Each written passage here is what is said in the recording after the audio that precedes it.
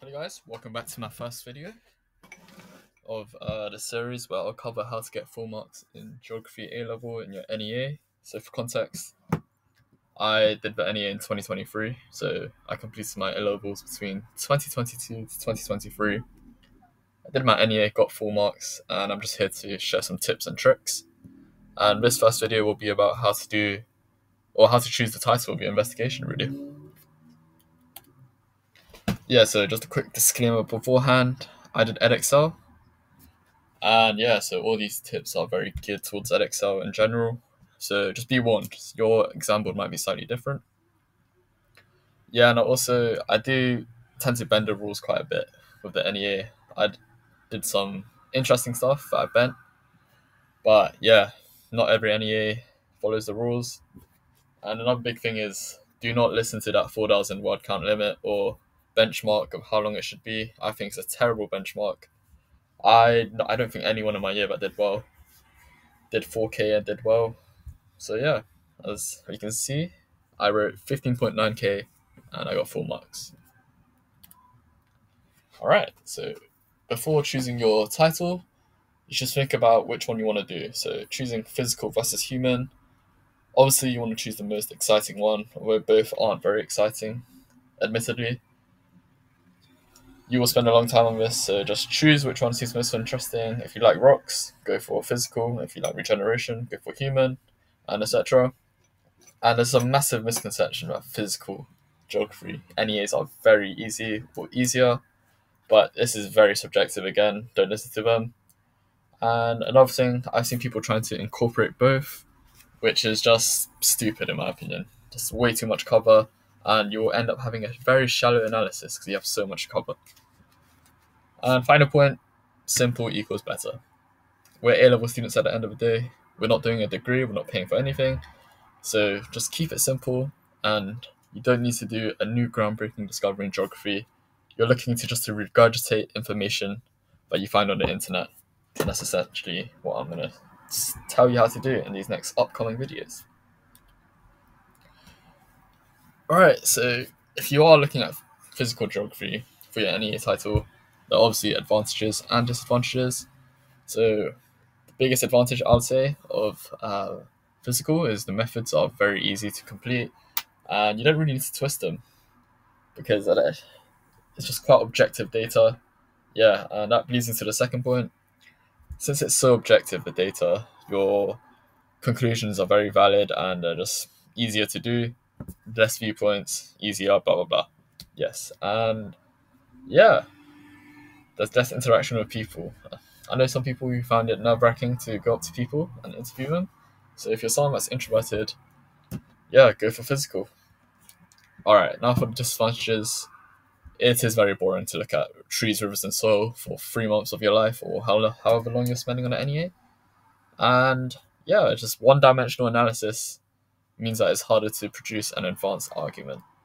So, yeah, a big part of geography is players and how they affect geography or the local climate or the economy. And with physical geography, it's quite hard to find that stuff. All right, now moving on to human geography, which is what I did. I think it, this is the smart play to go because you can waffle so much, talk about so much. But the biggest advantage would be you can forge data you can manipulate data, and yeah, you can make it just not. I'm not telling you to make up data, but your data can be twisted in a way so you can make easier analysis. And another one is so many viewpoints you can take. You can take viewpoints on player number one, player number two, and you can just create loads of different arguments, loads of different analysis, and loads of little evaluative points that will get you the maximum marks. Now, for the disadvantages, but data is very subjective. Is is basically subjective.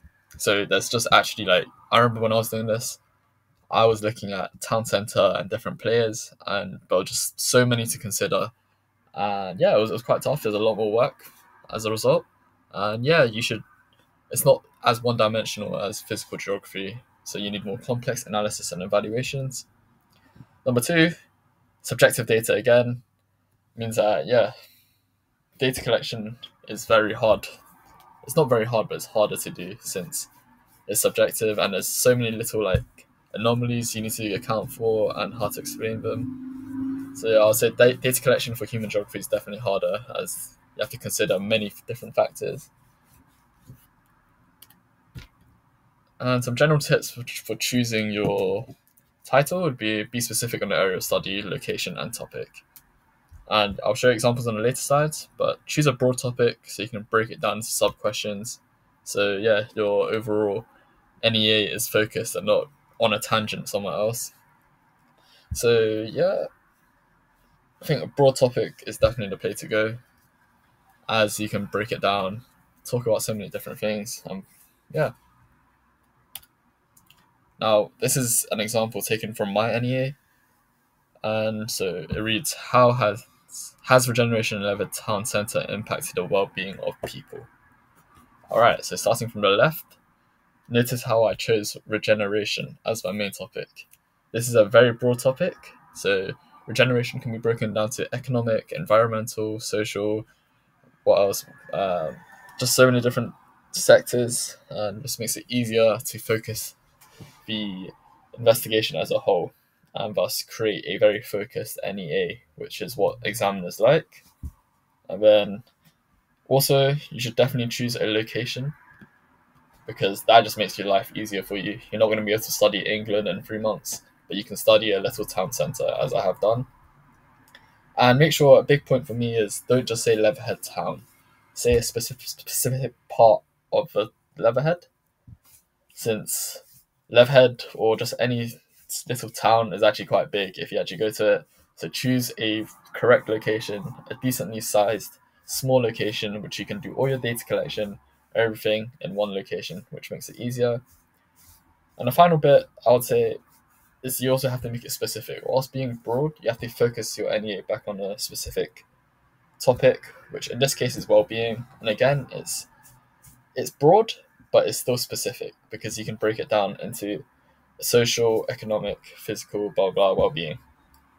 And here's some notes. Yeah, as I said before, this title is not perfect obviously I wrote people. You can go as far as to say how has regeneration affected local businessmen. I think that's a easier one since you, there's less viewpoints you need to take and there's a lot more focus. And yeah, I said town centre. You need to define your limits, otherwise it's going to be very unfocused. And these falls can be discussed in the evaluation. And yeah, just need to make sure your investigation is achievable and always think of methods beforehand. All right, that's the end.